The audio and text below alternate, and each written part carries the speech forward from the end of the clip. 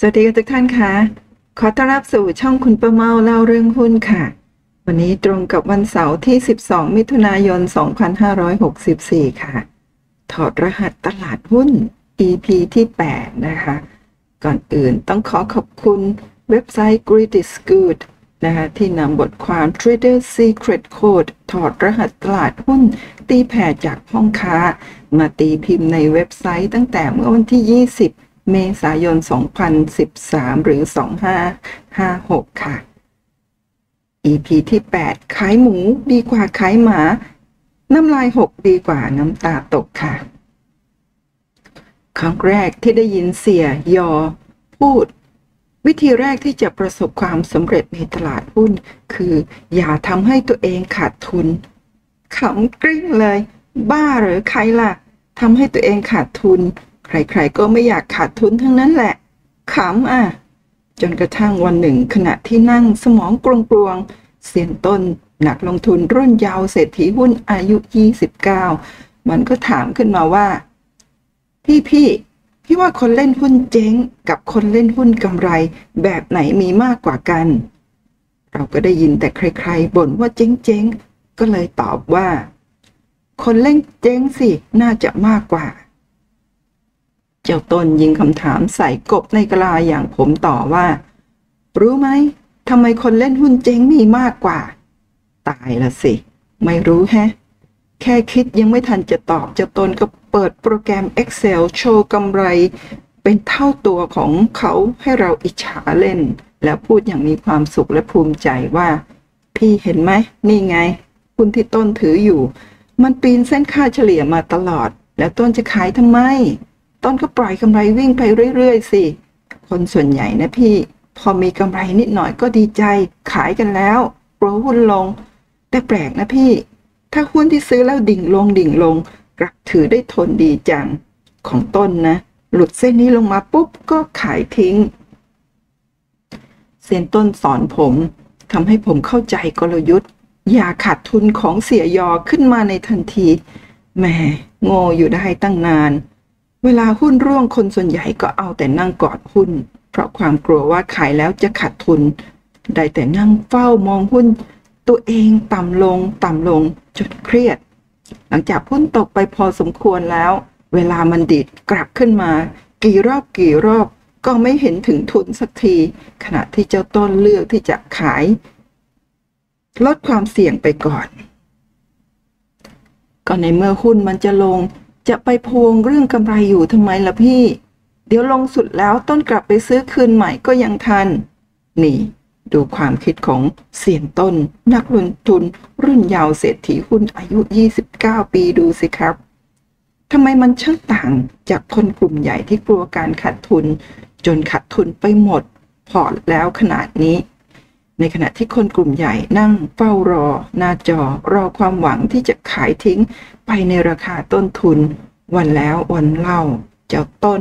กลับสนุกสนานในการซื้อคืน ขายทิ้ง ซื้อคืนขายทิ้ง ไม่รู้กี่รอบต่อกี่รอบ เท่าที่ได้ไปสัมภาษณ์พูดคุยกับเซียนหุ้นมา ทุกคนมีความเห็นตรงกันเป็นเอกฉันครับ เวลาหุ้นมีแนวโน้มลง ผมจะขายทิ้งทันที ขาย เพื่อไม่ให้กำไรที่อยู่ในพอร์ตกลับไปเป็นขาดทุน ขายแล้วจะขึ้นก็ไม่เป็นไร ดีกว่ามานั่งเสียใจในภายหลังที่ต้องกลับมาขาดทุนอ๋ออย่างนี้นี่เอง เล่นหุ้นร่ำรวยเรื้อรัง ก็เสียทั้งหลายรับมาแต่กำไรไม่ยอมกลับไปเป็นขาดทุนนี่เอง เรื่องนี้ป๋าบุญขยายความเพิ่มเติมให้ฟังในการเล่นหุ้นนั้น ถ้าซื้อแล้วถูกทางก็ปล่อยมันวิ่ง และทิ้งทันทีถ้ามีแนวโน้มลง ห้ามคิดเด็ดขาดว่ากำไรเพิ่งนิดเดียวเองยังไม่ขายหรอก อย่าไปคิดว่าเมื่อเช้ายังเห็นราคาเท่านั้นเท่านี้อยู่เลย ลองวางขายที่ราคา นั้นอีกทีสิเผื่อฟุก ถ้ามันมีแนวโน้มร่วงลง ต้องเอาเงินออกมาก่อน อย่ายอมขาดทุน ปัญหาในขณะนี้คือ แล้วถ้ามันวิ่งขึ้นวิ่งขึ้น เราจะขายราคาไหนดี เสียนหุ้นหลายท่าน ตอบตรงกันยังกับนัดกันมา ก็ขายเมื่อเจอต่อนะสิ อ้าว แล้วต่อนั้นสำคัญชะไหน มวลชนมักลังเลที่จะขายเสมอเลยครับ เมื่อเห็นวอลลุ่มทะลักเข้าคึกคัก แต่หลังจากที่ผมได้ยินจากเสียเสียทั้งหลายว่า เจอต่อให้ขาย ผมเลยลองลองสังเกตดูและในที่สุดก็เข้าใจความหมายของต่อ สมมติตัวเลขแล้วกัน สมมติท่านซื้อหุ้นตัวหนึ่งที่ราคา 8 บาท จากนั้นท่านสังเกตเห็นวอลลุ่มเข้ามาต่อเนื่อง พร้อมกับค่อยๆ ขยับขึ้นทีละเล็กทีละน้อย จนปิดตลาดที่ราคา 8 บาท 40 ได้ แบบนี้อย่างโล่งครับ ปล่อยกำไรมันวิ่งไปเถอะพอวันรุ่งขึ้นนักวิเคราะห์เชียร์หุ้นก็ดีดดีจังวอลลุ่มเข้ามามากกว่าเมื่อวานอีก ราคาก็ขยับขึ้นแรง จนกระทั่งไปถึง 9 บาทได้ในที่สุด วันนั้นวอลลุ่มก็เข้า ราคาก็วิ่งขึ้นแบบนี้ไม่มีต่อครับ อีกวันถัดมาวอลลุ่มเข้ามาแรงเลย นักวิเคราะห์เชียร์อีก ให้คำแนะนำซื้อราคาเป้าหมาย 12 บาท เพราะมันดีอย่างนี้อย่างโน้นอย่างนั้น ปรากฏว่าหุ้นคึกกว่าเก่า วอลุ่มมาจากไหนไม่รู้มหาศาล และราคาก็ทยานแบบทำท่าจะปูไม่กลับ แต่แล้วพอถึงราคา 9 บาท 70 ราคามันชักจะไม่ค่อยวิ่งขึ้น ตามวอลุ่มที่ทะลักเข้ามาหย่อนลงมาได้นิดนึง มีวอลุ่มเข้ามาอีก แต่ก็ไม่ผ่าน 9 บาท 70 สักที เรียกง่ายๆก็คือ หุ้นไม่สามารถทำจุดสูงสุดใหม่ได้ แม้ช่วงเย็นของวันก็แล้ววอลลุ่ม ซื้อยังคงมีมากมายต่อเนื่อง แต่ราคาก็ยังไม่ผ่าน9บาท70 เหมือนเดิม แบบนี้ให้สันนิษฐานไว้ก่อนนะครับ ว่าเจอต่อเข้าให้แล้ว ถึงหุ้นจะคึก ถึงจะมีแรงเชียร์ซื้อถึงมีความเสี่ยงที่ขายไปแล้วจะขึ้น อย่างนี้ก็น่าขายหมูออกไปก่อนครับ เพราะท่านกำลังเจอต่อ ท่านกำลังเจอรายใหญ่วางขายอยู่ที่ราคา 9 บาท 70 ไม่จบไม่สิน้น เมื่อทุกคนเห็นว่า 9 บาท 70 ไม่ผ่าน เมื่อรายใหญ่เห็นว่าที่ 9 บาท 70 ไม่มีใครเคาะซื้อแล้ว มีโอกาสที่แรงขายหนักๆจะตามมา ผมพบเห็นมามากเลยนะครับ ผู้คนในห้องค้าที่ไม่กล้าจะขายทั้งๆทที่เจอต่อ เหตุผลง่ายๆที่ได้ยินมาก็คือ ไม่ขายละกลัวขายแล้วมันขึ้น ไม่ขายหรอก ราคาพื้นฐานมันอยู่ที่ 12 บาท จะรีบขายไปทำไมคะ เห็นเขาบอกว่ามันดีอย่างนี้อย่างโน้นอย่างนั้น อันนี้ก็ไม่แปลกนะครับที่จะไม่ขาย เพราะท่านอาจจะเป็นผู้ยอมรับความเสี่ยงได้สูงก็ได้ ท่านจึงต้องการลุ้นให้ผ่านตอนนี้ไปให้ได้ก่อน แต่ที่แปลกใจก็คือ ผมเห็นผู้คนในห้องค้าจำนวนมากเลย ที่ปล่อยให้กำไรจำนวนมากมาย กลายเป็นขาดทุนได้ด้วย เดี๋ยวไปดูกันว่าท่านเหล่านั้นมีเทคนิค วิธีทำกำไร ให้เป็นขาดทุนอย่างง่ายๆได้อย่างไร ในช่วงต้นๆที่หุ้นมันไม่ผ่านด่านราคานั้นไป พี่ปานาอาในห้องค้า ก็ตั้งลุ้นที่ราคาสูงสุดของวัน หวังฟลุกแน่เจอต่อและยังหวังจะขายที่ราคาสูงสุดของวันอีก พอรายใหญ่รู้ตัวว่าเจอต่อเขาก็เริ่มขายทิ้งแล้วละสิ พี่ปานาอา เห็นว่าหุ้นลงซะ ก็ยอมลดราคา ขายลงมานิดนึง ไม่ขายที่ราคาสูงสุดก็ได้พอรายใหญ่แย่งกันทิ้งหุ้น คราวนี้หุ้นก็ดิ่งลงเร็วเลยละครับ แทนที่ผู้คนในห้องค้าจะรีบเอาเงินต้นออกมาก่อน ส่วนใหญ่กลับไปวิ่งหาข่าว หาเหตุผล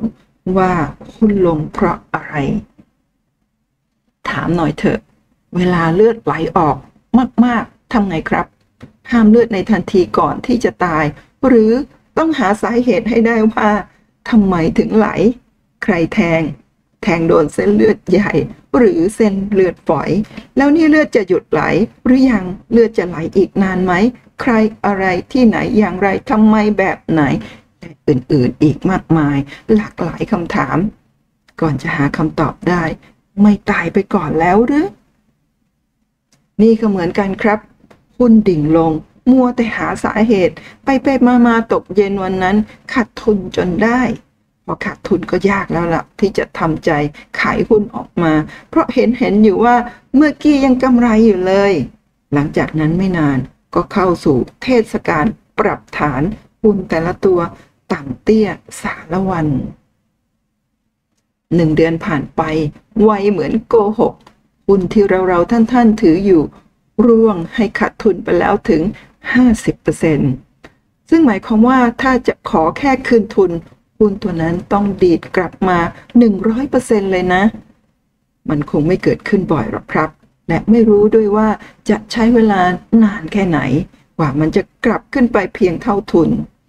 ผู้ที่ประสบความสำเร็จเขาอยู่กับปัจจุบันครับ ไม่ได้อยู่กับการคาดหวังเลื่อนลอย ต่อให้รวยแค่ไหน เงินเราก็ถือว่าช่างเล็กน้อยเหลือเกินเมื่อเทียบกับปริมาณเงินทางตลาดเซ็นหุ้นตัวจริงถึงกล่าวอยู่เสมอว่า ให้ว่าไปตามภาวะตลาด น้ำเชี่ยวอย่าเอาเรือไปขวางถ้าไม่มั่นใจว่ามันจะไปต่อล็อกกำไรออกมาก่อนครับ ภาษิตสำนวนฝรั่งว่าไว้ when in doubt stay out หากมีลางสังหรณ์ไม่ดีหรือเจอต่อต้องเพ่นก่อนเป็นดี และนั่นก็ถือทั้งหมดของ EP 8 ขายหมูดีกว่าขายหมา น้ำลายหก ดีกว่าน้ำตาตก พบกับ EP 9 ย้อนรอยวัฏจักรตลาดหุ้น ได้ในคลิปต่อไปในช่องคุณประเมาเล่าเรื่องหุ้น แล้วก็พอดแคสต์ช่องคุณประเมาเล่าเรื่องหุ้นได้เช่นเดียวกันนะคะ ขอขอบคุณทุกท่านสำหรับการรับฟังรับชมสำหรับการกดติดตามกด subscribe ไลค์แชร์ช่องคุณประเมาเล่าเรื่องหุ้นค่ะ พบกันใหม่ตอนหน้าค่ะ สวัสดีค่ะ